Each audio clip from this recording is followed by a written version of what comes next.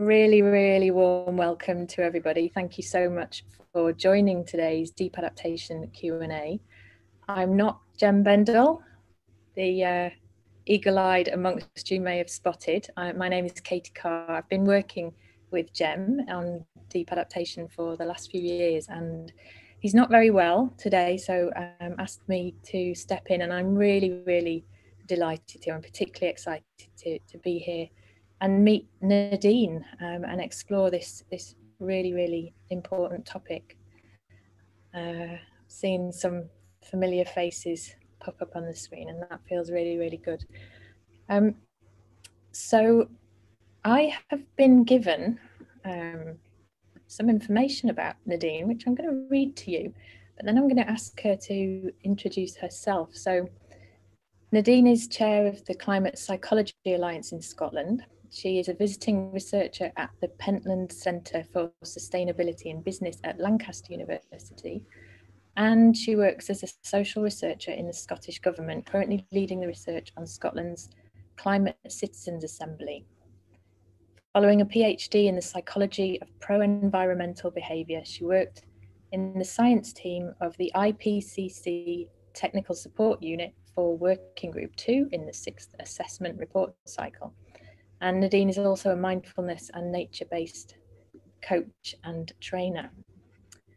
Nadine, I'd really love to hear you introduce yourself a little bit. I'm particularly curious about um, hearing a little bit about uh, your journey like what led you here to be in a in a q&a on deep adaptation climate psychology and collapse yeah sure thanks um so hello everyone uh, so yeah my um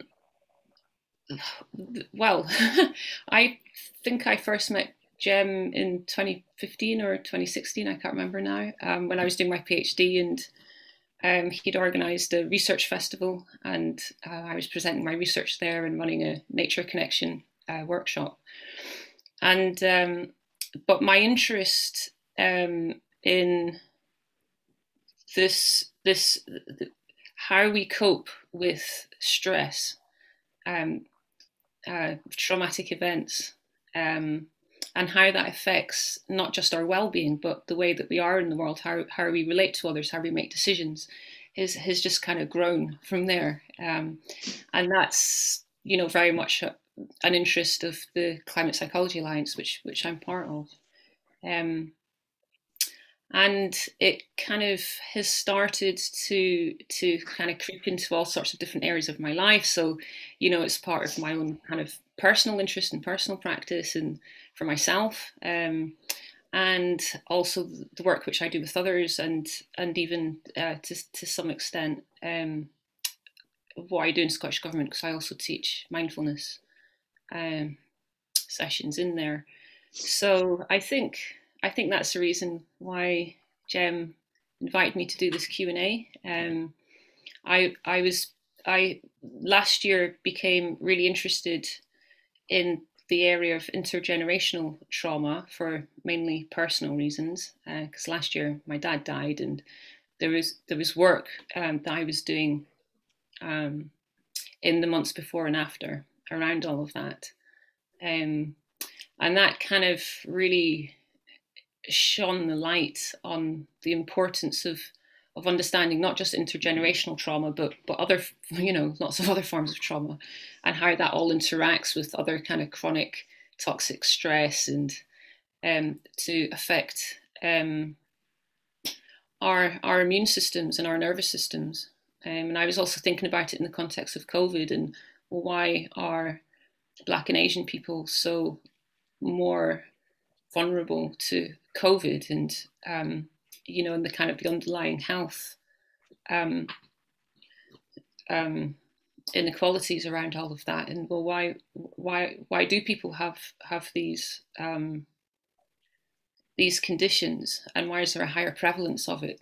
Um, and and so uh, some of what I was doing last year was kind of a really deep dive into the work of uh, Gabor Mate, who I'm sure many of you will be familiar with with the work that he does around um, emotional stress and and how that affects you know um, the immune system and and and, and has effects on on physical and mental health.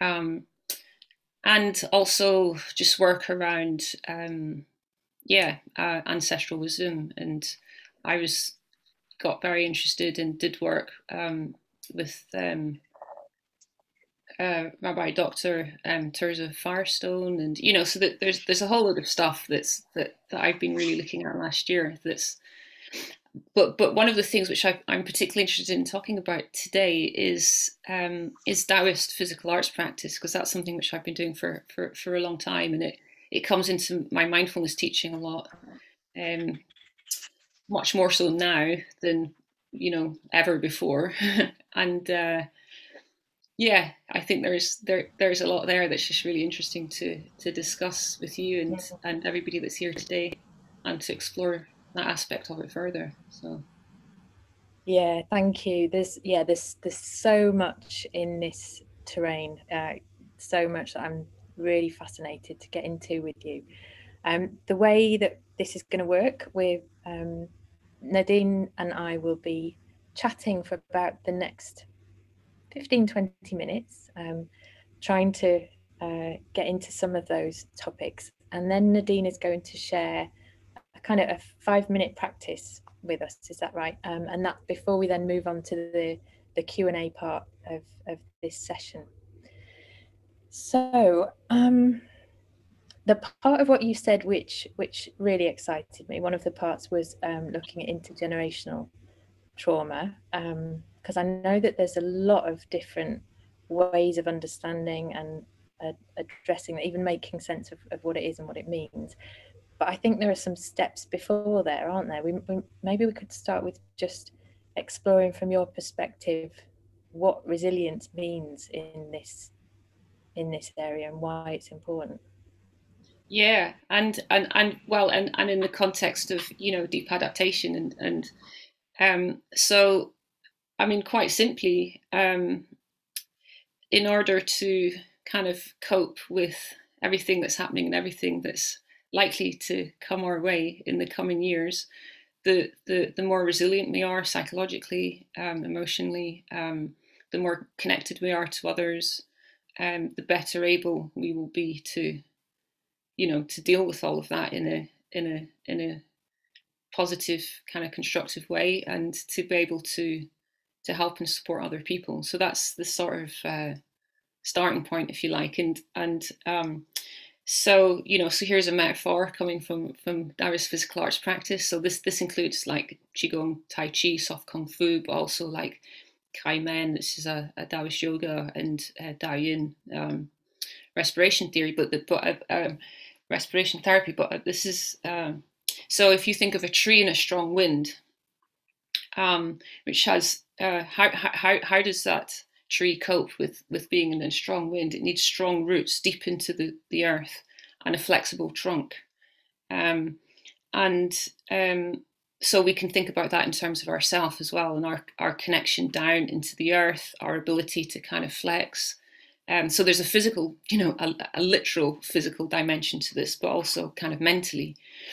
Um, and so so you know this is what we want to be like if we can. And then if you think about um, this concept of like adversity based growth or, or post traumatic growth you could think of maybe like a tree that's that's kind of growing out of a, a cliff face or somewhere that's that's not ideal. And yet somehow it's still managing to to, to grow up and and to live its life maybe not as as fully as it would if it was in kind of uh, ideal conditions. Um, but it has to adapt to, to, to, that circumstance, and it can still, you know, it could it could it can it can thrive still. So um, I find those kind of helpful metaphors really.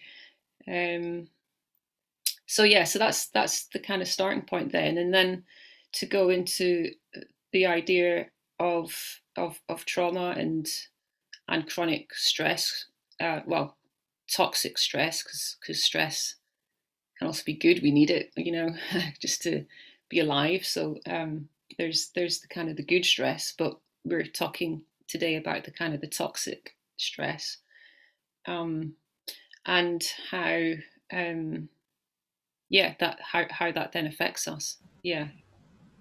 Yeah, thank you. Because it is when that that um, image that you shared of a of a tree and the kind of in the moment resilience. I'm thinking about um, my cats do not store fear. I know that when they're when they're stressed, they do stuff. They shake, or you know they they have a really really big stretch, and then they just sleep really peacefully. So there's the practices for like general good maintenance, day to day, moment to moment, but then looking at at trauma is a is a different kind of yeah, it's it's a different animal altogether, isn't it? And so I wonder if you could speak to that. Yeah, just, yeah, sure, yeah. And um, so there's different types of um, kind of trauma, but I, I, I like the way that um, you, you'll keep hearing me refer to Gabor work, but I do like the way that, that he talks about this as as that, that trauma is the wound um, as a result of an of an event. Um, you know, so there's some sort of overwhelming threat, um, you know, some sort of deep fear about survival, and and also the thing which he emphasizes is that is about being alone with the hurt, and I think that's a, an interesting point which we'll probably come back to. Um, um, and the fact that wounds that haven't healed are are are um, they're kind of sensitive, so there's a kind of scar there, which which if it doesn't heal is kind of you know so there might be a kind of hyper reactivity so it can be it can be triggered. So it's it's the way that that then kind of dysregulates the nervous system. Um, and um, so without going into deep into the kind of neurophysiology of all of this partly because i'm not an expert in it but um, the what kind of interests me about it personally as well is is and this is the intergenerational aspect of it which is how how if something isn't healed in one generation, it can be passed on. So this can happen through epigenetics, um, you know, and there's a whole kind of science around that. Um, but it's also just in, you know, how our parents um, behaved towards us, how they treated us when when we were children, which, you know, is is influenced by um, how their parents treated them and so on. You know, so if if emotional um, stresses and things that weren't weren't resolved, then stuff gets passed on. So that's the sort of the basic concept of intergenerational trauma that that wasn't what isn't healed gets passed on. Um, and I think people kind of have a sense of that anyway, because you can, you know, you just look back in into your own ancestry and you might see patterns there, certain patterns of behavior. But what what what kind of the key point really is um, is symptoms. So how how is you know if there if if someone's not um, manifesting any symptoms of trauma or chronic stress, then great. There's you know there's nothing to do there. So it's it's for when things are manifesting, and of course people might not be consciously aware that that they are displaying these these symptoms, and that's um, um, part of the work, isn't it, to become to become aware of these things. But when we do, um, we can, you know, this this area of kind of um, science that looks into neuroplasticity tells us that you know we can change things can change we can change our nervous systems we can so um so things aren't fixed is the is the kind of the key point there. And and but you know it takes it takes kind of work. So um for me it's i don't know i've probably been doing stuff off and on for 30 years or something. and I'm sure, you know, I'll continue for the rest of my life. But um, I'd say in the past year and a half in particular um, is really when, when, when a lot of stuff, uh, a lot of insights kind of came, came through and I just really kind of learned a lot more about all of that. Um, so yeah, yeah, thank you. You, you mentioned um, Gabor Mate a couple of times, and um, I I watched his. For anybody who doesn't know, he he made a documentary which was released last month. It was free to view for a week, and then there's been so much demand. It's free to view again or donation based to view again for the next ooh until the end of the day on the first of August. So if anybody hasn't seen it oh, it is an incredible piece of documentary making. Really, really powerful. Um, it is great, and there's a series of talks around there as well, which which is great. But I sorry, I just wanted to say. So here, here's another metaphor, which is um, if thinking about a, a, kind of a root bound um, pot plant, and so so this is kind of how how trauma or chronic stress might be affecting us because it's there, there's something that's constricting us in in being you know fully who we are, and um, and um, but if we can are able to kind of transplant this plant into in, into the ground where its roots can can grow out and, and, and spread out more um, and and also crucially to connect into the mycelium network um, where they, it can then access nutrients. Um, this this this is also part of kind of resilience. So um, it's this idea that this is kind of this is part of the healing process right? Is how is how we can think of ourselves as moving into the kind of from from from a restricted pot into open ground where we can connect. Um, and and through that connection is kind of where co-regulation can happen as well. So um, i've been kind of I also got really into polyvagal theory um, last year, but the, but the basic idea about co-regulation is just the way that our nervous systems um, respond to other nervous systems, you know. Um, and uh, yeah, so we're affected by other people and we affect other people. Yeah, thank you. And I know that you're you're really keen to move on to the um, the, the practices, the the healing approaches um, around that. So I'm, I'm going to ask you to talk about that a little bit building on like the, the first thing and particularly something that i um, have been focusing a lot in the deep adaptation forum over the last couple of years is the first step is to for all of us to become more literate you know more able to first of all listen really deeply to our own bodies and second of all understand when we might be encountering somebody who is responding from a place of fear or or stored trauma.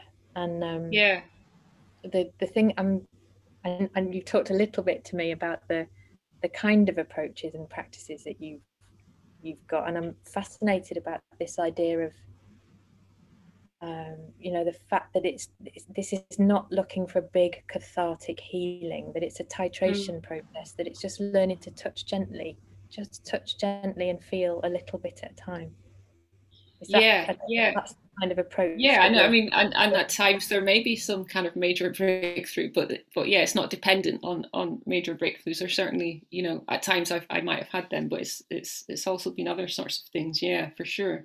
Um, so I think what I will do for to answer this is um, I actually just kind of want to demonstrate something because there's there's it's it's a sort of general principle that I kind of work with, and um, and it's it's just sort of the idea of self regulation, right? But um, and uh, the way that I tend to do this is by um, demonstrating it, you know, to people where you're kind of standing on one leg, and there's kind of th- in a very simplified way. There's there's three stages that are happening here, where the the first stage is um, you know there's there's there's there's feedback signals right that, that are going on. And and so there's attention that's being paid to the feedback signals. And then there's um, those feedback signals need to be interpreted in a in a way that's accurate. And then there's some sort of response. And so if i tune into what's happening in my leg as i'm kind of standing here on one leg to avoid me from kind of totally falling over there's there's kind of you know little adjustments which are happening all the time in in response to you know this feedback. And if something went wrong either with the the, the, the noticing or the interpretation or the response you know i'd fall over. So that's that's the kind of um that's the kind of self-regulation thing. And um but to attend we need that kind of sensitivity. Um to, to, to actually be able to feel what's going on, to be in connection, um, to be able to kind of witness, to to to listen, you know, to the body, um, and then this thing, the stage of kind of interpreting those signals. So this is where, um, if someone has been dysregulated, if their nervous system has been kind of dysregulated from trauma or or chronic stress, then they might be hypervigilant, right? So they might be the they might be detecting threat when in, in situations of safety. Um, so there's some sort of distortion then that's happening at that interpretation level. So then when they come to respond to a situation, they, they might be a bit off, right, with their response. Um, so you know, and this is this is also what we do when we're doing mindfulness practice. So so that's so that's um, yeah, that's the, the one of the sort of principles behind it.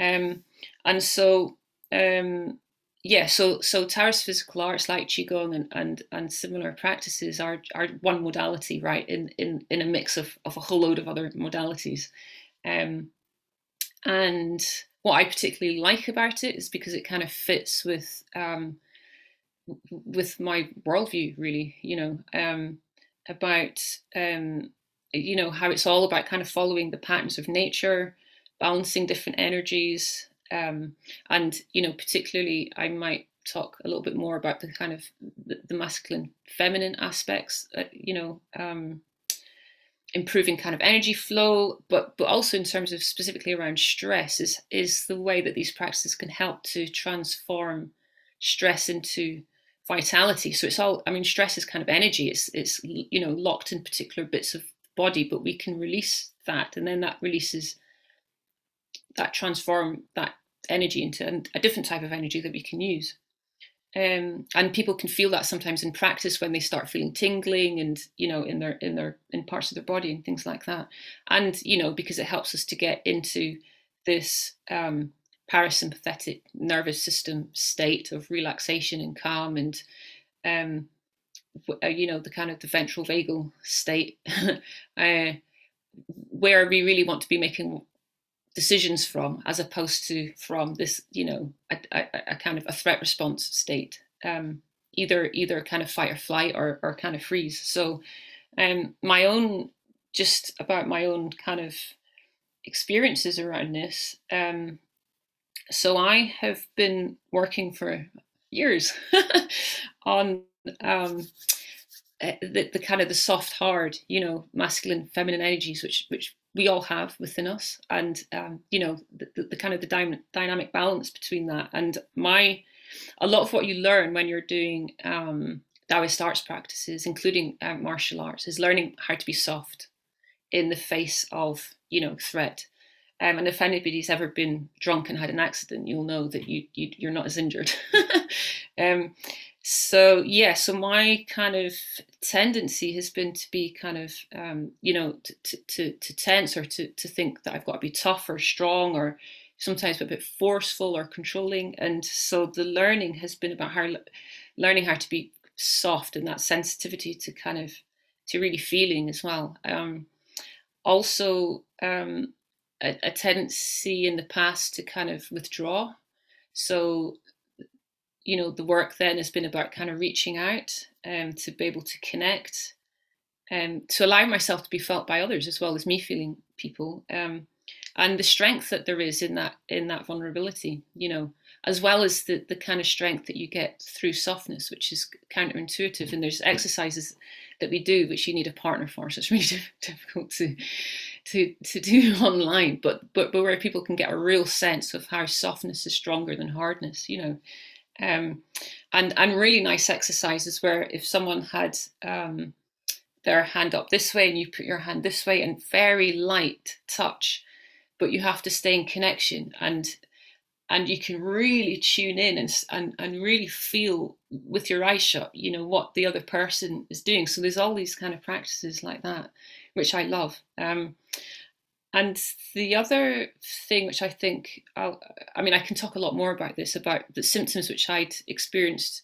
in myself, and then thought, oh, you know, what's going on here, right? This is a this is either a residue of a intergenerational trauma, or it's something, you know, that an experience that that that, that I've had my, myself. Who knows, right? Some stuff it, you don't even necessarily need to know exactly where it came from, but um, so I'll mention two things, um, and, and, then if people are interested and ask questions, you know, I can talk about more of that. But one one was about healing shame, um, about not belonging and this so this i think has aspects of intergenerational as well as as well as you know just de- developmental and relational trauma of growing up in a racist society basically right um, which and there, there, there, there's a line in that trauma of wisdom i think it's i don't think it's Gabor Mate i think it's someone else who says it but but they basically say how um, which i love and it's it's i read it it says um, the march of time decontextualizes trauma, so it is interpreted as something that is wrong with me. And I think that's, that's so insightful.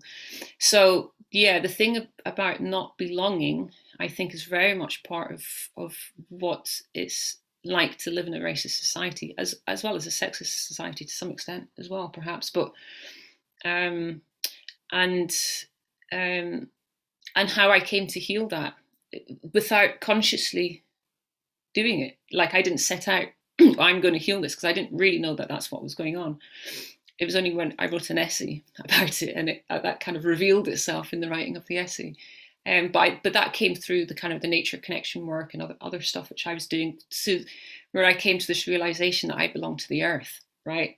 Not not just an intellectual understanding, but a real embodied understanding and also the the other thing which comes with racism and sexism is is a shame around not being worthy you know that's part of what you're internalizing there um, so this is all stuff you know which which has its place in it's it's in the body in in that you've been living with for years. So deep you might not even be aware of it you know? So this is stuff which can then come out. And then just just lastly before we get to half past um I had been for, oh gosh, I'd say easily six or seven years. When I'd been meditating, I had been noticing physical sensations in the heart so that it, there was no thoughts associated with it. There was not, there wasn't even any emotion associated with it.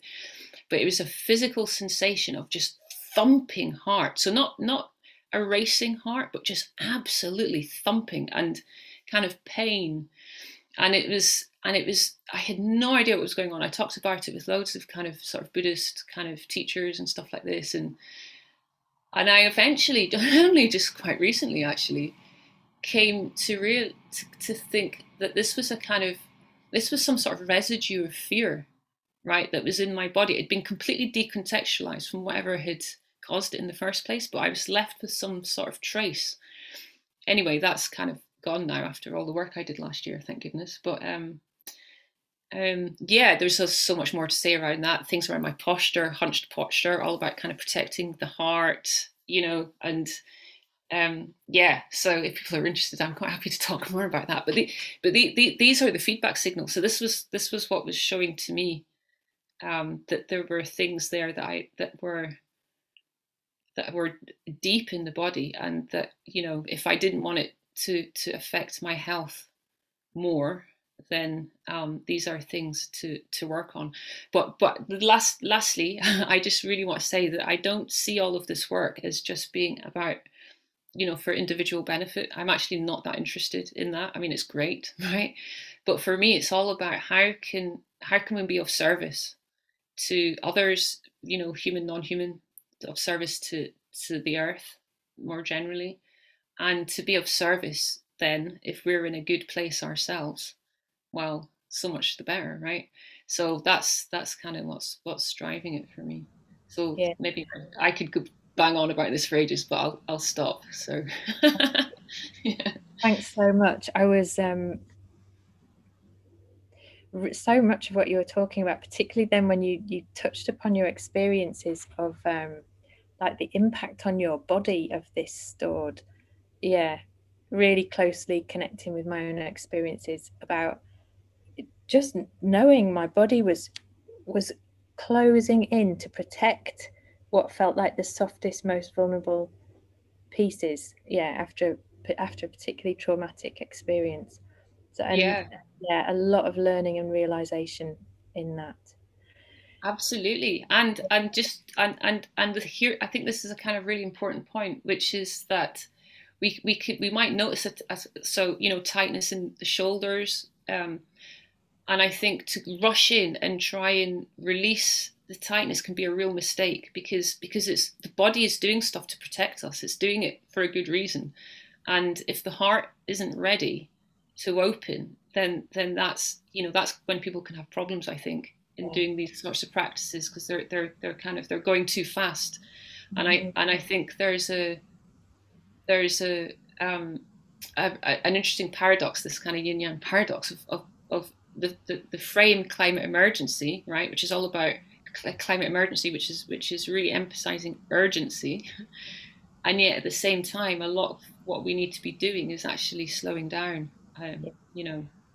Yeah, so. definitely, and and that um, I thought about this earlier when you talked about the work with the masculine and feminine energies, and that I know that I can connect with what had been previously an unconscious, internalized, quite violent part. It was like something's going wrong with you now. You need to force yourself to get better because, yeah, otherwise you're unworthy. And yeah, and connecting with the other more gent. There's nothing to be done. Just listen.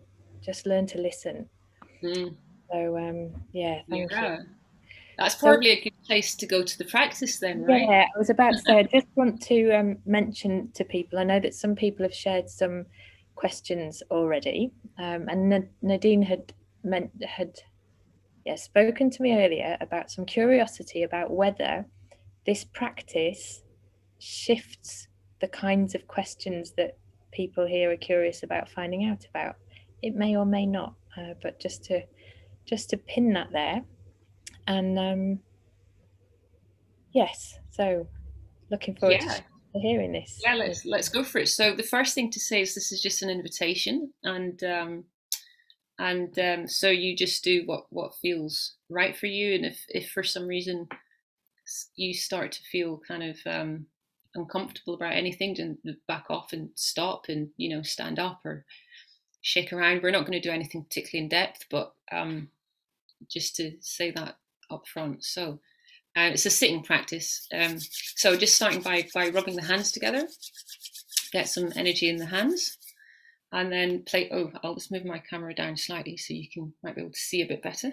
Um, and um, yeah, so just placing them over the heart, and then um, just just beginning with slowly moving your arms over this the heart area.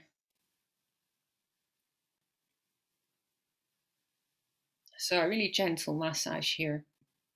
And then you can just uh, have a, a little smile on your lips. And you're just sending that smile inside down into the heart area. And if you like to visualize, you can you can visualize a, a small bud, a red bud, and the sun shining down onto this little flower. And as you're breathing in and you're sending this little smile down into your heart, the bud is just is just starting to open out and blossom. So this is you just sending good wishes to yourself, wishing yourself well. as much as you're able to in this moment. And then we're going to send these good wishes out into the world. So, to do this, we can put our hands together like this at the heart, and then breathing in. And then, as you're breathing out, you're sending that out into the world. So, you're just sending, straightening your arms out to the side, and then bringing it, bringing, you know, the good the good wishes, you know, the healing energy of the universe back into yourself. So whatever we're putting out into the world, we always want to bring it back in. Um, and we can't give out what we don't have. So we want to be building up our inner resources. And one way to do that is by bringing in the energy of the universe into ourselves, as well as, you know, eating well and sleeping well and breathing well, and all the other things that help our vitality. So just just feeling just feeling that. And then if you like to end, you can just settle your hands on your belly and just breathing into the belly. So feeling pressure of the belly up against the hands as you breathe in and have it retreats away from the hands as you breathe out. So that's the short little exercise to end on there.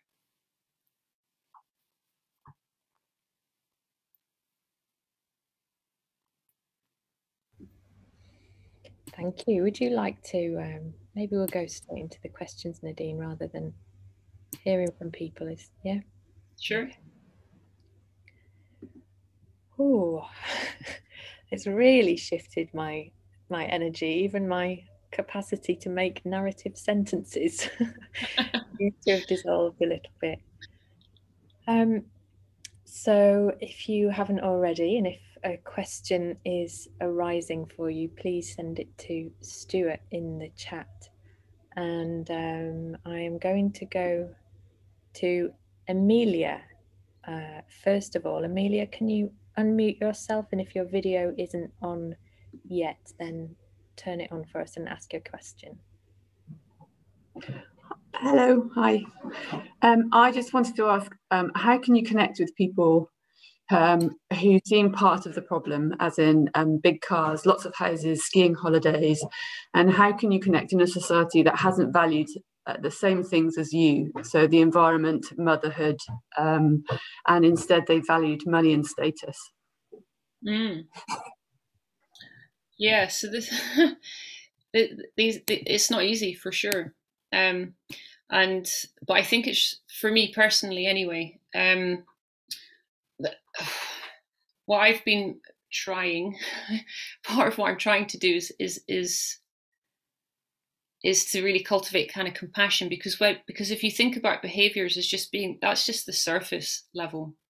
But there's all sorts of things underneath that's that's that's driving those behaviors. And um and if you go into the the, the, the social psychology um, work around this um a lot of what's driving um, those destructive behaviors is um, you know anxieties and fears.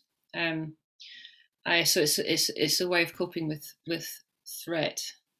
Um, and so i think it's it's when we first of all recognize in ourselves that we also have um, ways of behaving which are not perfect, far from perfect, um, and um, things which are destructive, even. Um, and you know, we're, we're all we're all complex like that, and and that so we can have compassion for ourselves, and then we can see other people behaving in particular ways, and rather than having a kind of us them thing, which I think is deeply unhelpful and also is not a, a kind of a Taoist approach, um, which doesn't see things in those sort of binary, separate categories, um, then it allows us to at least begin to to see the humanity of of this other person with whom you know we might be thinking really negative thoughts about right? Um because if we go to them with those negative thoughts and, and kind of throw that in their face that's they're just going to get even more defensive. So that's not going to help shift anything. But mm. in, in any case i think it always starts with ourselves anyway. Uh, i think it's very difficult to be compassionate to other people if we can't be compassionate to ourselves. Mm-hmm. and that's an ongoing practice right? Because a lot of us are very self-critical. Yeah. Thank you. And um, Thank you very much for the question, Amelia. Um, I want to, um, we do have another couple of questions from the audience, but I wanted to ask you something specifically about, uh, oh, I start to shake a little bit as I think, I think of the, the question is knowing that um, the world feels really precarious now for a lot of people, and that isn't going to, it's not likely to stop.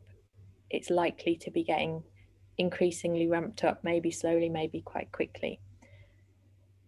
Oh, yeah, it is shaky, and um, and also connecting with something that you that you said earlier about the um, the sense of urgency and emergency, and um, I wonder whether you could talk something about. For me, there feels like a paradox um, around I know that for me, the more urgent things feel, the more I have to connect with stillness. Even though that feels like, but there's so much to do. Ah! I know I have to connect with stillness, and I have an intuitive sense it's to do with listening to my body. I have an intuitive sense it's to do with cultivating compassion. Um, I wonder if you could speak to that a little bit. Yeah, for sure. And I, I mean, this totally fits with with the kind of the, the Taoist perspective and, and, and what you do when we're doing these practices. Um, because, I, I, mean, I think some things are outside of time, um, actually. And um, I mean, it kind of links to sort of polyvagal theory in the sense that that, that kind of the urgency, right? The fact that the speed, the, the uh, you know, rushing is is is kind of coming from this place of a of a sympathetic nervous system response. It's kind of fight or flight. It's it's, it's you know it's got that stress um, quality to it, um, and that's difficult to maintain over time because of the way that stress affects the body. So, um, you know, that's going to exhaust us being in that state. Um, but, but but but but more than that is the point that we were talking about that to to really to, to really develop that sensitivity to to feeling what's going on within us and, and you know around us and with other people we do have to slow down because it's because because it's in the detail you know and if you're rushing too fast you just and of course rushing is a very good way of distracting ourselves from actually you know going to what is there right? Um but also stillness can seem like a very dangerous place to be if we're in this dysregulated state because it it can it can be it might be misinterpreted you know as as being collapse so being in that kind of hypo arousal place of of of you know severe kind of um dissociation and numbness and depression and despair and things like that yeah um, yeah, that's that's really interesting. I know both of those. I know the the stillness which is flat, and I also know the stillness which is there's so much going on, and I need to just sit and be with it for as long as it needs me to sit and be with it. Yeah. Yeah. Yeah, because I, I used to really struggle. Well, I I used to find it really difficult to to just be still and on my own, and I'd kind of want to fill the silences or, or, or fill those gaps, you know, and it and it took um, you know, and I, I, I, know, you know, and that's linked with all sorts of other stuff around escapism and numbing and, and all sorts of kind of uh, other other great ways to kind of um, distract yourself from things, you know. But um, but yeah, it's that's working through that. I think is really important.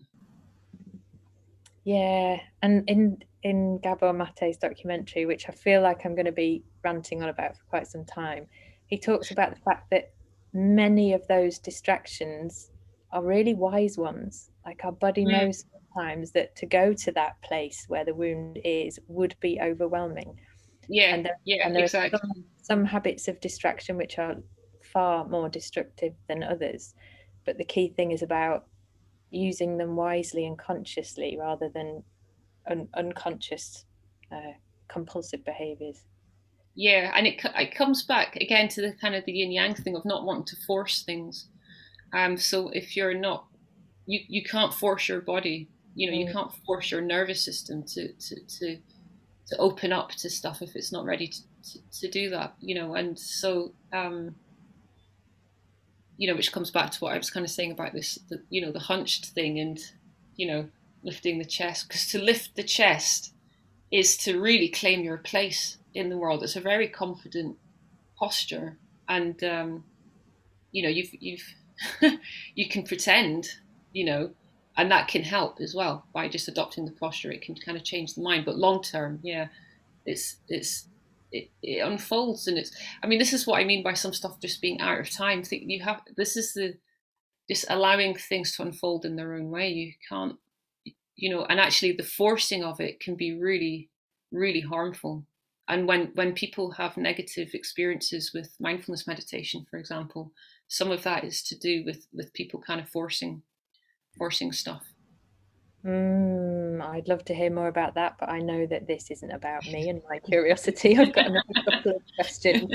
Um, I want to go to uh, Julia Hobson next. Julia, if you can unmute yourself and turn your video on, please. Mute. Um, I, can you hear me? I've unmuted, I think. Yep, we can hear you. Good. I can't see you and I can't quite manage to. Sometimes you come in and sometimes you come disappear into the blackness. Um, yeah, so the question I wanted to ask was Nadine, when you're working with um, in your position with the Scottish Government, um, do you do these sorts of exercises that we just did, the little one with the heart or similar ones, with um, government officials? And do you do them at all before they might be going into making decision making meetings? And if so, how has that how has that worked out? Yeah, so um, so my my main job, uh, the job which I'm paid to do, is uh, to be a researcher. Um, but because I am trained in teaching mindfulness and separately, you know, I have my my um, public liability insurance and all the rest of it. Um, I had already started doing some mindfulness teaching before COVID, um, but during you know all of last year, because of the amount of pressures on on staff, um, which were huge, obviously in mm. in dealing with with everything, um, just for in terms of supporting well-being, I I was asked, uh, I offered, and I was asked if I would lead sessions, which which I do. So that's within work time. Mm-hmm. Um, and um, so it's great. I have a lot of freedom around that, but they're you know they're kind of like one hour ish kind of introductory mm-hmm. sessions, mm-hmm. but there's a lot of practices. I've learned. I mean, I had previously taught in in, in organizations, um, but I've really learned a lot about about teaching in the context of an organization and what works and what doesn't work. But there's a lot of, of really short practices which are great for just kind of releasing stress as you go. um, and um, um, so what uh, you know so so there's been a lot of interest in these and I'm I'm continuing to do them. And I do some follow-up sessions where I just focus on a particular theme and you know we kind of explore that. Last one I did was about being like water which was great. Um, now what people do with that and and and uh, in their day I mean this is in work time so it's not like people have to take time out to do it. Um, you know, I don't know because I'm not formally doing it as part of research, um, and I don't really mm. want to either. So, um, so yeah, who knows? I mean, people are in and out of meetings the whole day. um, so yeah, I mean, I get good feedback, and people tell me it's helping them. So, uh, but you know, there's obviously other things that they're they're they may be doing as well that might be helping. So I can't claim all the credit for. Well, I, I, guess one of the things that I'm, I'm intrigued by is how something that's been so devastating and uh, with like with the COVID has then opened another door that maybe wouldn't have been opened in in an organization and let in certain possibilities. And I think that's that's mm. fantastic.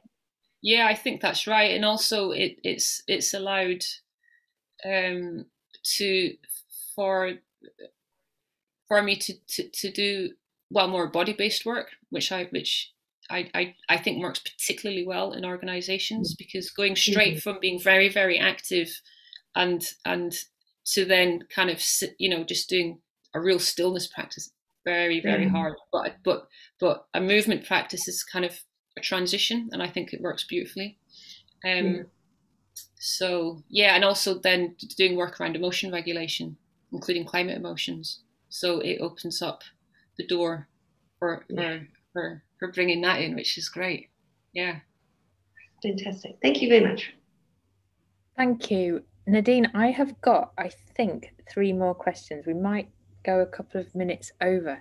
Um, but first of all, to Andrew Medhurst, which touches on what you've been talking about before. Um, he's asking for some help. Andrew, are you there? Yes, I am. So, um, Nadine, thank you very much for what you've said to us this morning. Um, and my question is any tips from Nadine? Um, the context for that question is I have this I have this contradiction in my in my mind and in my life about modern technology, email. I mean, my background is a very corporate background, and when I was still in the in the corporate world, it was a people used to go off to Taoist retreats for a fortnight, right, to unplug and then put themselves back in that. There's a part of me that says my connection to people who understand the climate emergency has come through technology, but I also have this sense that some of the some of these technologies, social medias, have shot my attention span to pieces, and so there's a part of me that says any tips about how you manage that? This is how i connect at the moment and, and reality stillness and slowing down and calmness makes me want to just switch off every last piece of computer equipment i've got. So just any tips about how you you feel that that can be managed please? Mm, yeah. So have you got a, a kind of a daily practice that you do, whether that's kind of exercise or, you know, being outdoors and doing, you know, just being with trees or. No, I, or... no, I guess I, you know, I've hugged a few trees in the last few weeks, but um, but no, I think I, I think my problem partly is I I'm in a privileged position. I get up in the morning, and there's many days I'm thinking about well, how do I fill my day? And I get to the end of the day, and I feel I haven't filled it very. Well, it feels to me like I haven't filled it in a very productive way and that productive yeah. may, may be my corporate mind thinking i didn't do much today but it also might be i didn't do much in terms of self-awareness and mindfulness and that sort of thing. yeah thing. i mean because there has been loads of work done around the addictive qualities of technology which are you know it's designed in right to be addictive so that that's no surprise when people find it difficult to to drag themselves away but for me personally I I keep um, I try to maintain a kind of a, a, daily practice of and and it can be difficult to keep to that you know because there's a discipline associated with that but it might be even kind of putting something in your diary that protects half an hour or an hour or even 10 minutes where you you just you you go outside and you know there are some really nice kind of qigong exercises that are there's you know stuff on YouTube which is free. I I really like the work that Lee Holden does. Um, you can you can look his stuff up. He's got you know really accessible stuff for for beginners as well. Um, and there's something, and also it can help to have a, a guided video practice for, but definitely a movement thing. I would suggest for you then, and um, but but what the, the what's beautiful about the, the, Taoist practices is because it is all about following nature. So it's it's you know you are following the cycles of nature and the patterns of nature, even if you're not sure exactly what each movement means. That's kind of what's underneath it all. Um, and doing it outside, um, you know, just connecting with the earth and with the sky and having that real sense of of of connection, that groundedness, interrupts um, you know, all that that that kind of busy mind stuff. So I, I don't know that if you know possibly could be something that you look to try and integrate into into your day and and then don't beat yourself up if you don't manage to do it every day. Is, is that the sort of thing? I'm not sure if that if that helps. Uh, I'm a I'm a great one for scheduling things in my calendar. So I'm I'm hearing you loud and clear that I should be scheduling those practices in my calendar as well. Thank you. Yeah, yeah. Thank you, thank you, Andrew. Thank you, Nadine. Time for one more question. Um, curious one from Jonathan. If you could unmute yourself, and it touches on. Hi guys. Yeah. Thanks. Thanks for hosting this workshop. Uh, so I'm hard physicist, uh, IT, and I'm moving from the logical world of science and tech to the coaching world. I feel like the members here are more in the spiritual, emotional place rather than the rational place. Um, I'm wondering what we do about actually what do we do when the rubber hits the road? So, how in coaching, how can we move from counseling looking back to coaching where we move forward and actually take some action? Mm, thank you, Jonathan. I chose that question. I had a little sneaky interest in, in it because I'm I'm curious about whether it's a false dichotomy. But Nadine, I, yeah, great to hear from yeah, you. Yeah, I mean, I I would say eh, first off, my my kind of approach on stuff is kind of bio, psycho, social, spiritual, um, all of those things. Um, and my interest in polyvagal theory in, in particular is is the science based nature of it. I really love stuff around um, neuroscience and all that, um, and and bringing that into the coaching world, as many are already. Um, that you know, that there's a whole field of coaching that's that's that's kind of trauma informed and that draws on all that theory um, that you could you could connect with if you were interested in. Um, and uh, I'm not. What was the other point? Um, you were asking about. Um... So in in my coaching community, we we often think of counselling as looking backwards and I'm more forthright and I've got a more brutal style. It's we acknowledge all that. Now, what we actually going to do to go to where we want to be? Yeah, and and so your question is, what what do you feel about oh, okay. taking yeah. action, moving forward to where we want to be? Yeah. So um both and. So i think dif- different they're all they're different approaches right? There are different fingers pointing at the moon and and that kind of thing. Some people f- for me counseling and talking psychotherapies are not my thing. Uh, you know uh, n- not interested in it. Um, i trained as a coach but um but it works for some people right? So it's it's kind of there and it's in the mix. It's from a in terms of the taoist physical arts practices it's it's about balancing the past the present with the future. So with there'll be arm movements um, where the, the, the the forward arm is is into the future and the backward arm is into the past. And it's interesting when people raise their arms is are they actually in balance or is the the weight of the past you know drawing heavier right but there's ways of kind of bringing what's in from the good stuff from the past that you want into the present and into the future but then then you have to let it go. So even if you're focused on what you want in the future, to not be kind of fixated on that, it's it's you hold it lightly, and then and then you kind of let it go to to work its way through in, you know, in the way that it does. So um, I have no idea if I answered your question or not, but that's. I, it's very interesting to hear your spiritual, emotional perspective. Yeah, I mean, I, I think I would suggest that if you're not already familiar with polyvagal theory, you might want to investigate that. Um, and um, uh, there's a you know there's a, there's a lot of work around that now, and it's it might satisfy the, the, the kind of the, the, science part of you as well. Mm. Thanks very much, Nadine. Thank, Thank you. you. Thank you, Jonathan. Thank you, Nadine. And um, Oh, I feel both full and also still hungry for more. That's been such a such a deep, rich, um, yeah, exploration together. It has felt really rushed. To me, it has only because of this hunger for more. Um, and I want to say apologies to there were a couple of people who submitted questions that I wasn't able to get to. Um, but I'm yeah so grateful to all of you for joining, Nadine for joining us today for sharing your wisdom and your unique take on this topic. I'm really grateful, and not just for this hour, but for all of the work that you continuing to do in this field.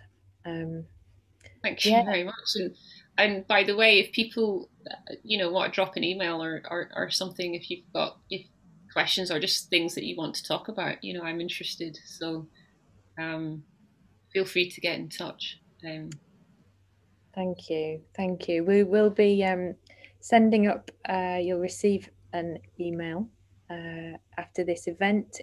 The video will be shared on Jem's YouTube channel. Um, a bit of a plug myself. On the 3rd, I'm going to be hosting a discussion circle for people who have watched uh, Gabor Mate's documentary to think about trauma from a deep adaptation lens and vice versa. So I'll share the information uh, on that as well.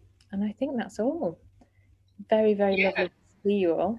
And um, yeah, Nadine, I hope we can connect another time in the future.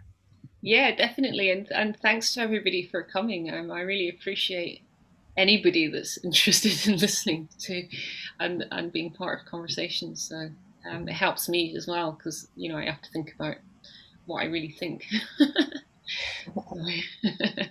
Lovely. Thank you so much. Thank you.